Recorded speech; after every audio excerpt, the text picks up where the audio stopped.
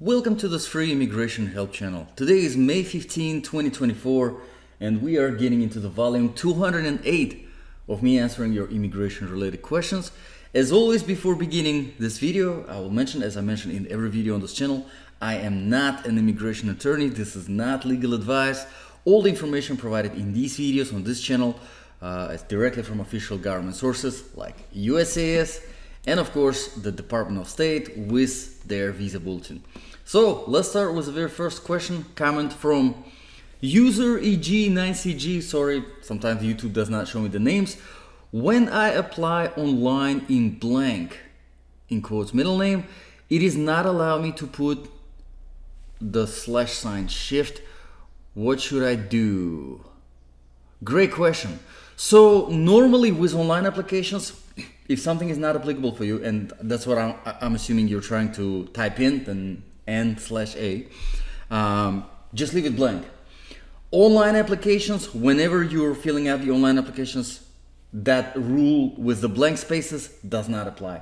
The blank spaces only applies to the applications that you're gonna fill out on the computer or, or in the PDF, print them out, and then mail them. So the paper applications that you actually mail, those are the applications that USCIS, they don't like the blank spaces left. So those you need to fill out.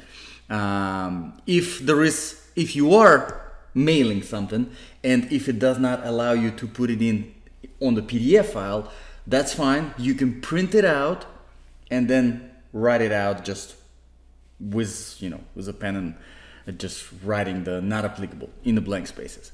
But with the actual online applications that you do through the USCIS website, through the USCIS portal that you create to file an application online. I know there is some confusion with people confusing doing something on the computer and then printing it out and filing it by mail and then the actual online application. Yes, both of these applications you can type out on the computer.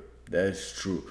But one is exclusively submitted online and another one is printed out and then mailed. It's the same way you can print out a regular the PDF of I-589 in your case and write it out by hand. The only reason why we do it on the computer through the Adobe PDF reader whatever is because it makes it a lot more legible because people have different, you know, handwritings and my handwriting is horrible so i'm way better off typing it out and then sending it to avoid any kind of confusion any kind of mistakes made by the immigration officer misinterpreting what i wrote.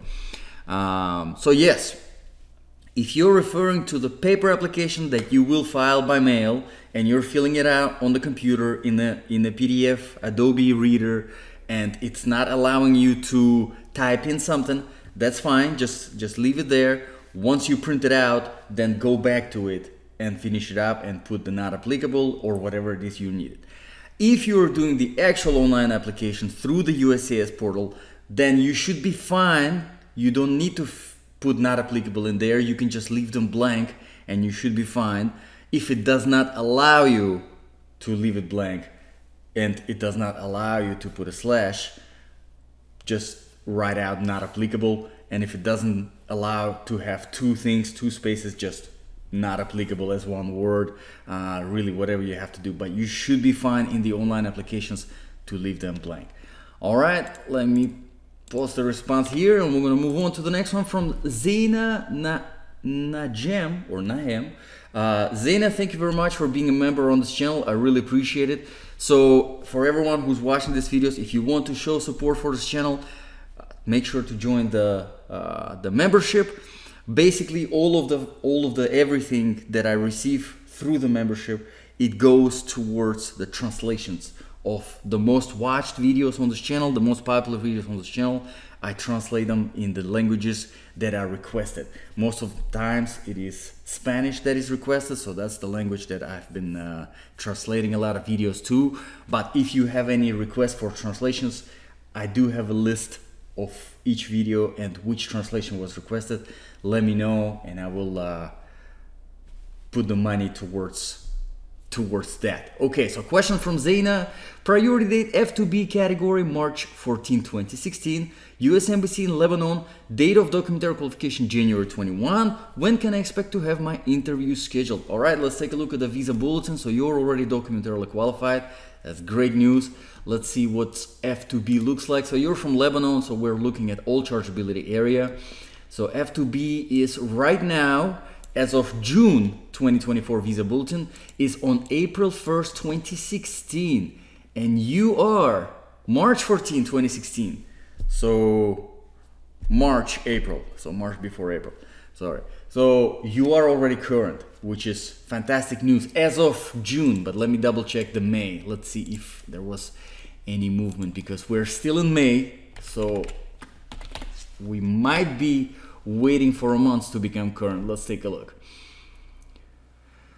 All right, so this is May visa bulletin, and yes, so you have been current in in uh, in May as well. Let's go back to April, and I want to see how long you've been current approximately.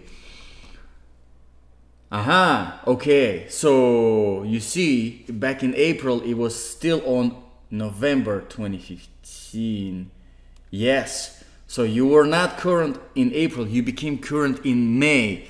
So it means that about a month now that the US Embassy been working on scheduling your interview.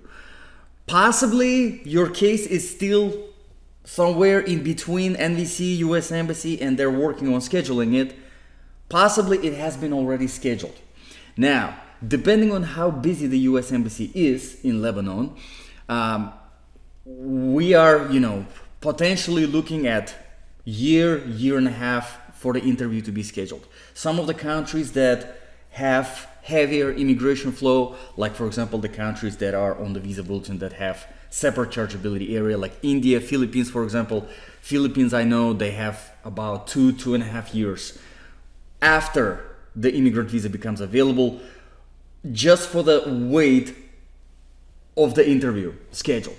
Uh, but what I recommend you do is give them at least another three months and then reach out to the US Embassy in Lebanon and I will find the link. Let's see, usembassy.gov. Let's take a look. So Lebanon, here we go. And the US Embassy is in Beirut. And if, if, if, this is not the correct phone number, I'm not sure. It does not look correct, honestly, but I, I'm not sure. Maybe it is. You can go to their website. Let's just go there and see if we can find their phone number through their contact us page. Okay, there you go. Now that looks a little bit more like a real phone number. So here it is on their main page. So I'm gonna add this link to response. Give them about three more months because you just became current. Give them about three more months and then reach out to them and say, hey, I've been current for three, four months now. I'm documentarily qualified. I just wanted to see when my um, immigrant visa interview was scheduled. Most of the times they say we can't give you that information, but it is worth a shot because in some cases it's an unofficial announcement, so they can take a look at their scheduling system and say, hey, your interview been scheduled, or if not your interview been scheduled, they can say in general, F2B categories, family preference categories are right now waiting for about a year, a year and a half. But around a year is normal. So I would say more realistically, you're looking somewhere mid 2025. Um, so I would say, yeah, give it another three, four months and reach out to the US Embassy, and then another six months, and then you can slowly start preparing for uh, your immigration interview by finding the medical examination provider, by putting all of the documents that have been used during the documentary qualification. Now you have to have the originals. Uh, so the petitioner has to file to send you the uh, the original birth certificate because you'll have to take that to the uh, interview to present that. So you can start doing some preparation for that. All right, let me post a response here and we're gonna move on to the next question from the young the youngst The youngest killer, 3055. If I live in Las Vegas, Nevada, where do I have to mail this to? And that was a question on I-589 application for asylum. All right, great question. So let me double check because I'm pretty sure that I-589 right now is available to be filed online. Let's see. I-589, there you go, application for asylum. And this is the official government website for US, US Citizenship and Immigration Services. And let's see, the filing tool provides da, da, da, on the, the provided tool does not determine if you're eligible for. Yes, there you go. So below whether you may file your form online or if you must file by mail. So use this filing instructions tool. Figure out if you're able to file it online. If you can't file it online, I highly recommend doing that because it just saves it saves you time that's for sure. Because you don't have that time between you know you mailing the application them receiving the application them putting the application on the desk of the immigration officer that's going to be reviewing it. It's straight from you know once you pay the fee online it's already submitted and it's already received by USCIS another reason why it's good to file online is because it prevents a lot of mistakes that you can potentially make in a paper application or just simple confusion whenever it comes to the handwriting. You avoid that. So if you can do that, do that. But to answer your question, if you have to file it by mail, let's take a look. Let's see where we are filing this. What, so there should be, there you go. So if you live, so you're in Las Vegas, so Las Vegas, Nevada, where to file with USCIS by mail. If you're not required to file your Form I-589 with the Asylum Vetting Center as indicated in the special instructions section, then use this chart to determine where to file. Okay, so we got Florida, Georgia, Maryland, New Jersey, Pennsylvania, Texas. So you're none of this, you're Nevada. Any other state territory that would be applicable to you. So if you if you mail it using the USPS, which I would recommend if you do have to mail it, use USPS instead of I don't know maybe I'm biased because that's personally that's all of what I've done. But if you're using USPS you're sending it to this address right here PO box. If you are sending with FedEx UPS DHL so that's the couriers then you're sending it right here. So both go to Chicago one goes to PO box and one goes directly to their basically front desk or whatever. So what I'm gonna do is I'm gonna post a response and I'm gonna post this page right here and you can find the same thing that I showed you under where to file right here. All right, let's move on to the next one from Amira Bar 77. After 36 days to apply I-539 by mail, still I did not receive any response, no receipt number, and my payment is not cashed. Ooh, what should I do? My visa will be expired in next two weeks.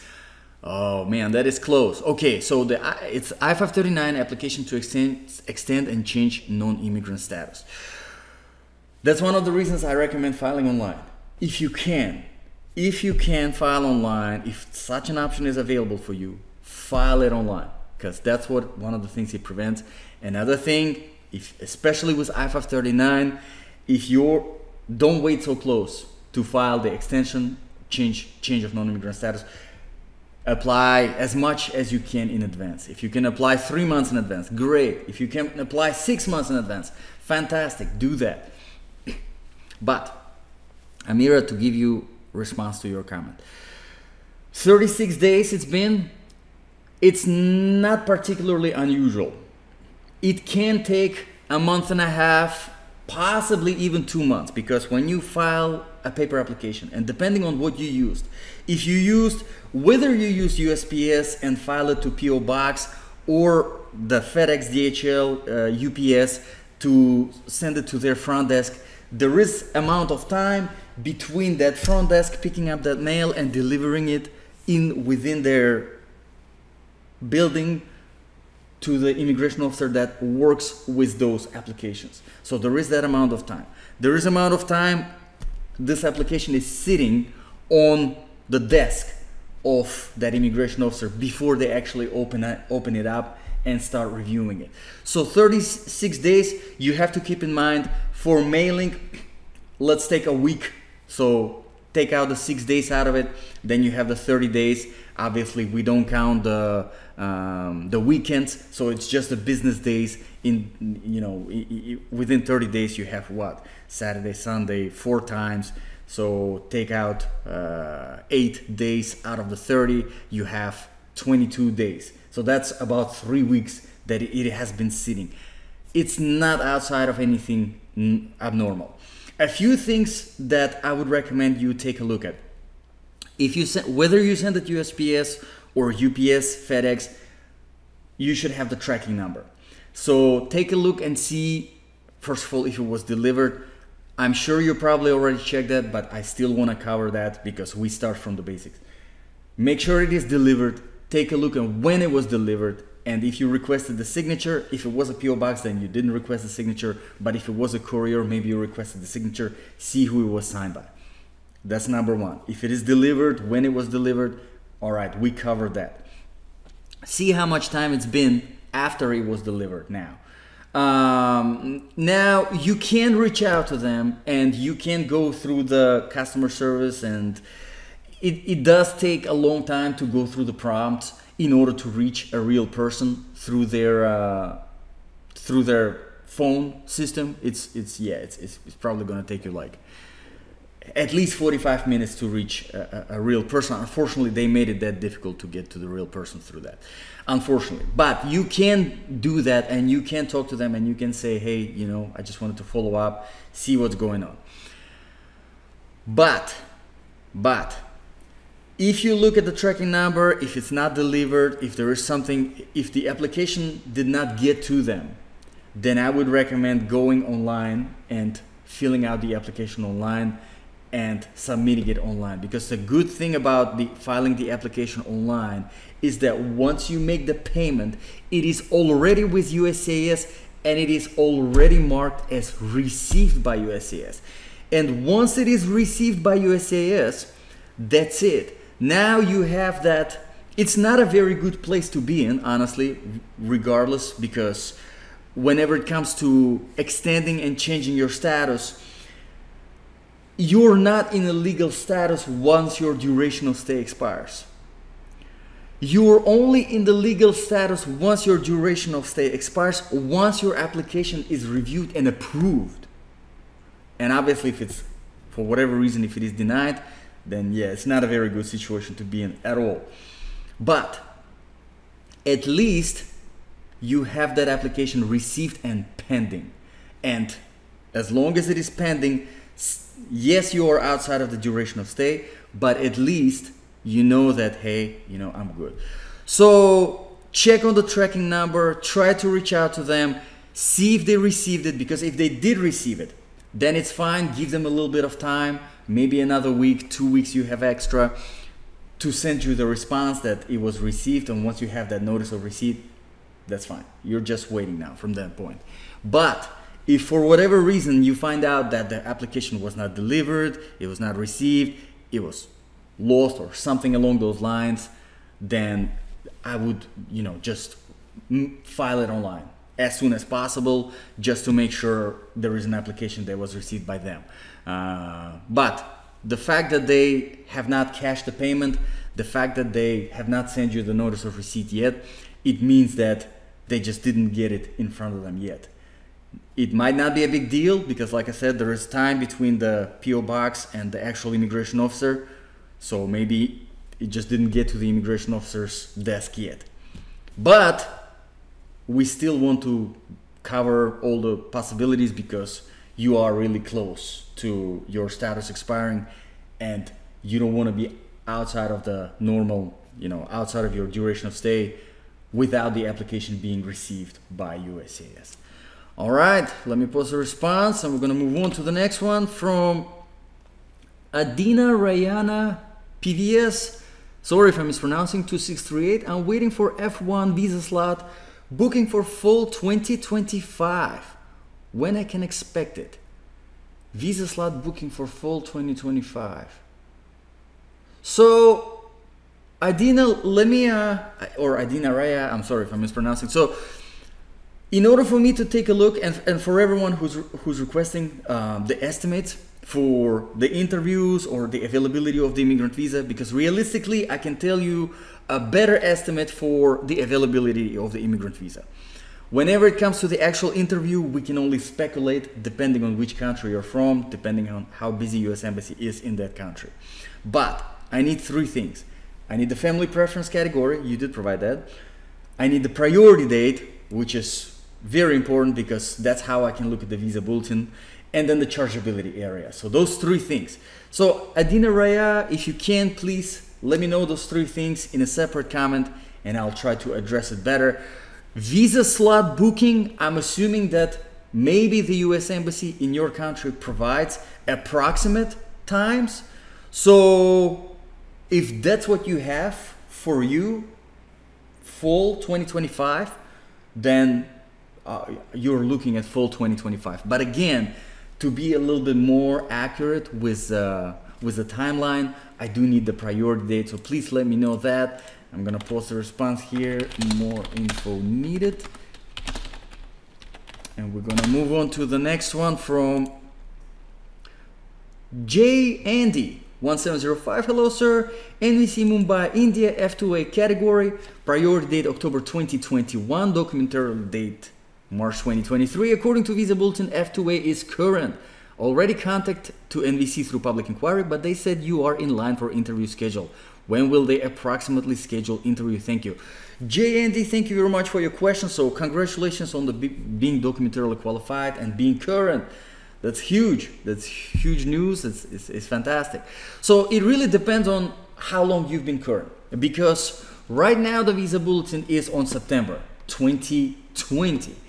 And you are priority, wait a second. You're October 2021. Oh wait, you're India. Let's see. Never mind. Don't even listen to me. This is April 2024 we're looking at. We need to switch back to June. June 2024. All right, so June 2024, most recent one. Now we are looking at November 2021. And you are in October 2021. So October, November. So it depends on how long you've been current, because as you can see, back in April, you still were not current. And let's see, May. Let's see actually May. What May is doing on there we go. June. Aha. So you are June 20, June 2021 and you are October 2021. Okay. So, J Andy, you're in October 2021. Right now we are still in May. And in May visa bulletin for India, it is still June, which doesn't really matter because India is current with the rest of the world. It's still on June 2021. So as of May, you are not current yet. It is next month, the June 2024, that you will be current. So you will be current in two weeks now, which is fantastic news. Once your immigrant visa is available, that when, when you're current in the next two weeks, then the the U.S. embassy in in India um, Mumbai, in, you, you, you, know, you already know it's in Mumbai, they're gonna start working on scheduling your interview. Now, the great news is that yes, your immigrant visa is go- gonna be available in two weeks and you're already documentarily qualified, so the only two things you have left is medical examination and the interview. Not so good news is that Mumbai US Embassy, they're quite busy, and I can tell from people commenting uh, from, from India, and obviously you already know yourself, India has a separate chargeability area on the visa bulletin for that specific reason. Is because the immigration flow from India is heavier than other countries. So, with that being said, you still are potentially looking at another at least year and a half, possibly two years before your interview is actually scheduled. And unfortunately, you're not going to find out when your interview was scheduled for only up until 30 days before the actual interview date and it's really sad that it is the it, it is how it is because they do that because you have to do the medical examination within the 30 days before the interview I wish that they announced it as soon as they scheduled it because honestly, it's much easier to say, "Oh yeah, my interview is scheduled," you know, in April 2026. I know my date and I'm just yeah, I'm being patient and I'm waiting, but at least I know my date. Rather than waiting up until March 2026 to find out that your interview was scheduled in in uh, April 2026. That's an example. But that's I would say you where you're looking at. I, I, I'd say because you're from India, I'd say probably close to two years. Um, keep in mind that a lot of this backlog, not for the immigrant visas, not the availability of the immigrant visas, but scheduling of the interviews, accumulated because of the whole pandemic shenanigans that was going on a couple years ago, and the embassies were closed.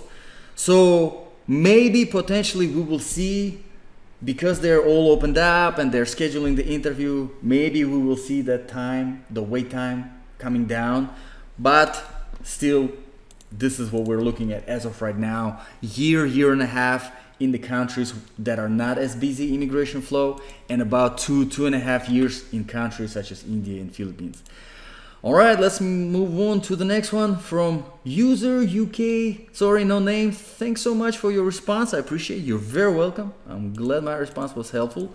Moving further to Sun and Stars. Hi again. Hi. So I am a US citizen bringing my husband from Nigeria. So does that place us in F1? We are still waiting for the interview letter, but I'm predicting by June or July he will get it. October 20, 1 30 sent, September 8, 23. I-130 approved. Okay, so I-130 sent, I-130 approved in September. All right, all right. So October 22. All right. Wow. So you you're almost getting close to being two years. September 11, 2023, file sent to NVC eight months ago. Received a notice from NVC in March 24 that they were reviewing info. I assume the interview notice is coming. Thoughts? All right. So the great news is that you don't even need to look at the visa bulletin at all. Visa bulletin is not for you because backlog for you does not exist. Once your I-130 was approved back in uh, September 8, 2023, the immigrant visa is already available for your husband and is already waiting for him, basically, because he is in IR category, immediate relative. So yeah, so not F1, it's IR, IR1, immediate relative. But it sounds like approved, so it was approved in 2023 and it was sent to the NVC eight months ago. You received a notice from the NVC in March 2024 that they are they were reviewing info. So I'm assuming you already sent all of the documents for documentary qualification to the NVC. And I'm not sure if you already became documentarily qualified, but I'm gonna double check just to cover the basics. Once you receive the notice to the NVC from the NVC, they give you the case number and the invoice number. You logged into the NVC portal using the case number and the invoice number. You filled out the DS260 for your husband, the application for the immigrant visa. You paid for it you filled out the affidavit of support for yourself to qualify you as a successful petitioner sponsor, and you paid for it. You submitted all of the documents that are required, like marriage certificate, birth certificates, police report, tax transcripts, and you submitted them to NVC. I'm not sure if NVC responded to you and said, okay, you are documentarily qualified, everything good. Or they responded to you, on March 2024 and said that they are reviewing it. If they're reviewing it, that's fine, give them some time. It's been eight months now, so I'm assuming maybe the first time you submitted for documentary qualification, they requested something else. There was some back and forth in there. Uh, but once they review it and they documentarily qualify you, they transfer the case to the US Embassy uh, in Nigeria. And yeah, from then on, the US Embassy in Nigeria, they work on scheduling the interview for, for your husband. Most of the times, whenever it comes to immediate relative categories, because the immigrant visa is already available when US Embassy receives that document package, that case from the NVC. They schedule it and it's between six months and a year. On average, it's about nine months um, ahead that the interview is scheduled. Um, but yeah, yeah, hopefully it is. Once it is scheduled, once you are documentarily qualified, and if you are documentarily qualified or not, please let me know as well, so that I'm kind of staying aware and on, on, on top of, you know, everyone's cases. Uh, but yeah, once it is scheduled, please come back to this channel and provide an update. That would definitely be helpful. All right, let's move on to the next one from Mutam Bo Patrick 243. Hey, hey, thank you for being a public subscriber. Appreciate that. Let's move on to the next one from 12393. Thank you for being a public subscriber. Appreciate it. Hi, sir. My prior date 15 December 2009. India documentarily qualified date 17 July 2023. Awesome. I have received 60 day notice from the NVC when I should expect my interview date. Yeah, so unfortunately, those 60 day notices, you will keep receiving them, and some people receive them, some people don't, but don't pay much attention to them because they really are boilerplate for the most part. But let's take a look at uh, the visa bulletin and uh, your priority date. So priority date is India. So December. Wait a second. What is your family preference category? Okay, so if you can, please, I'm gonna request more information from you. I do need the family preference category to look at the visa bulletin. Priority date, family preference category, and then chargeability area. So if I look at the, this right now, India. Yeah, so you're 2009. So potentially maybe you can be F3 because you recently got documentarily qualified. But yeah, if you can, I would, you know, I'm not gonna do any guessing because, so I'm gonna request more info needed. And let's move on to the next one from Daphne. Hi sir, thank you for helping me. They upgraded my case to IR2 and I'm doing my documentary qualification application now. Thank you. All right. So they actually did upgrade it to IR2. That's perfect. That's fantastic.